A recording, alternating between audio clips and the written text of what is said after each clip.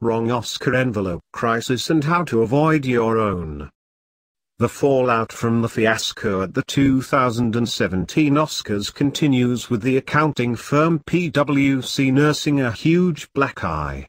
When one of the firm's partners mistakenly gave Best Picture presenters Warren Beatty and Faye Dunaway the wrong envelope, leading to the announcement that La La Land had captured the Best Picture prize when, in fact, the winner was Moonlight, PwC cast a long shadow over its 83-year-old Academy Awards history and, for the moment anyway, shattered its priceless reputation for precision and accuracy. And even though the La La Land team graciously relinquished their statuettes, Moonlight never got its full moment in the sun. Let's be clear that no one died or was seriously hurt by this mistake. PwC, however, will be the butt of jokes for a while, and may lose its contract with the Academy. The partners responsible for tabulating the results won't be back next year. Even if PwC remains, the relationship has taken a huge hit.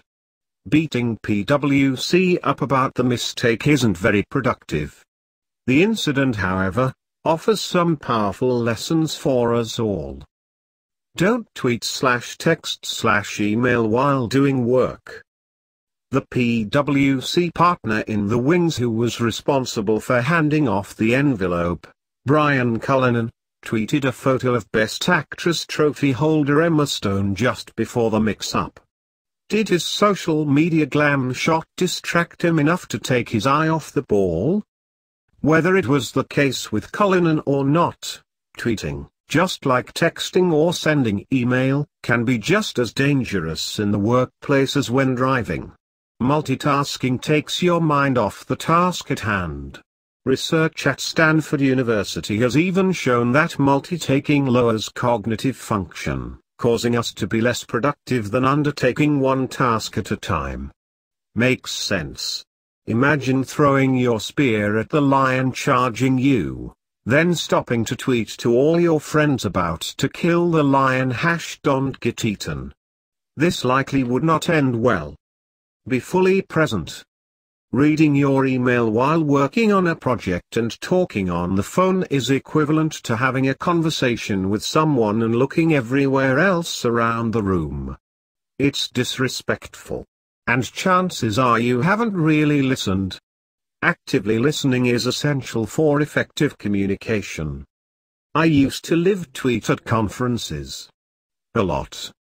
My rationale was that it was a good way to take notes, connect with others at the conference, and increase my followers. I don't live tweet much anymore. The reality is that, in the process of capturing the interesting nugget, Using the right hashtag and crediting the speakers, I often missed out on other content. My attention is bifurcated. Yes, I have snippets of the talk, but they are all taken out of context. I might miss the full thrust of the remarks.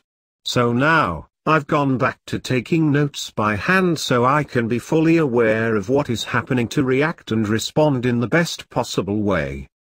Avoid complacency. Arrogance often is at the root of situations gone awry. In an interview with the Huffington Post just a few days before the Oscars, Cullinan was asked what would happen if someone got the wrong envelope. His response, we would make sure that the correct person was known very quickly, Cullinan said. Whether that entails stopping the show, us walking on stage, us signaling to the stage manager, that's really a game time decision, if something like that were to happen.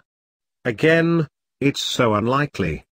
The operative phrase here is that he thought it was so unlikely that he and his fellow partner, Martha Ruiz, weren't mentally prepared, and took longer than they should have to follow their own protocol.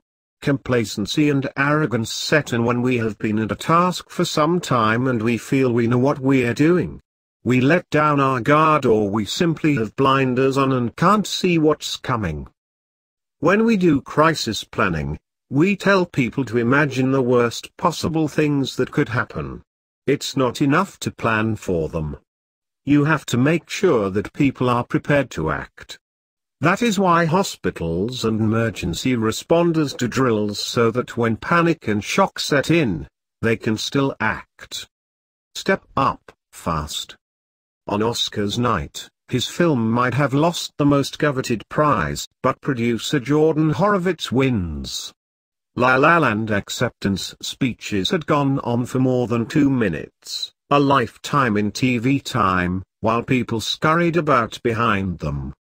It might have been PWC partners who cleared the fog. Or it might have been show host Jimmy Kimmel. Instead, Horowitz steps up, strides toward the mic, and says, I'm sorry, no. There's a mistake. Moonlight, you guys won Best Picture. And he followed it with, I'm going to be really proud to hand this to my friends from Moonlight. It was gracious. It was authentic.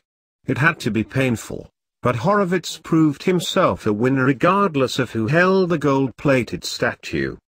In the end, the Oscars will go on.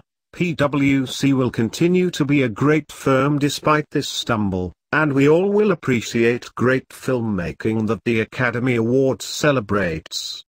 But let's not forget that a tweet and our own complacency can create havoc. Just ask Brian